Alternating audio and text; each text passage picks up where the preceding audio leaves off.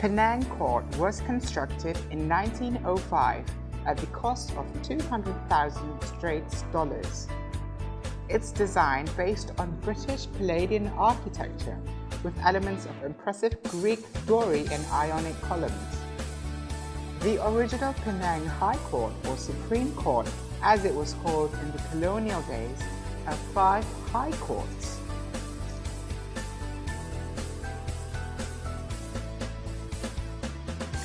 During this restoration process, they have built one more similar building beside the court to be part of the offices and library to keep a lot of books about the law and judgment system.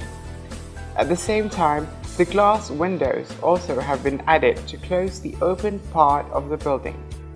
The dome and the wood stairs also have been fixed and preserved to make these important parts stronger than before. The building is rich with attractive, unique patterns and architectural details. One of the highlighted motifs is the one in the decorated dome.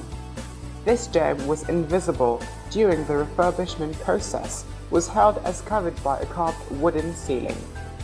The dome is made of stained glass and the frame of cast iron. It is covered with stucco finish on the exterior and inner finishing timber ceiling. The peacock motifs on the dome and intricate carvings on the copper walls were to be the attractiveness for this building. Peacock pattern is a symbol of the East India Company. Supreme Court uses a lot of ceramic surfaces as it have a relatively longer life if compared to most of the other materials used for flooring.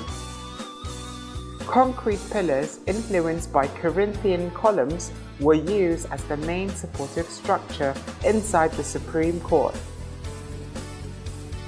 As for the ceiling, timber strips were used as a main material for the ceiling.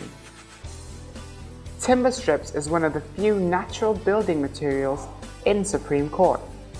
Timber is a natural insulator and can reduce energy needs, especially when it is used as the flooring material.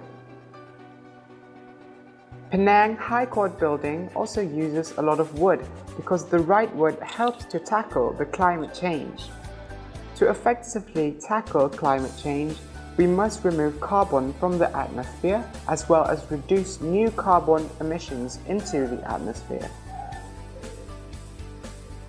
With the rise of various European colonial empires from the 16th century onwards through the early 20th century, the new stylistic trends of Europe were exported to or adopted by locations around the world, often evolving into new regional variations.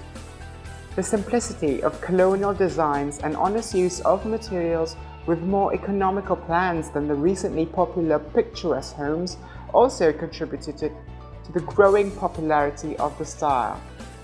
Even a century after modern architecture was introduced, colonial revival motifs continue to be popular in new constructions.